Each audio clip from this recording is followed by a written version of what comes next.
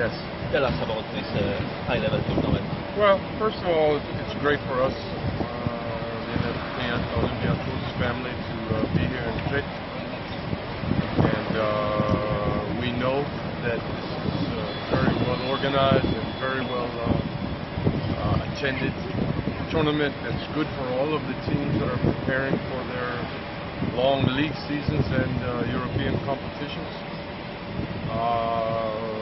We're happy to be a part of it, and, and we look forward to uh, both the competition and the environment.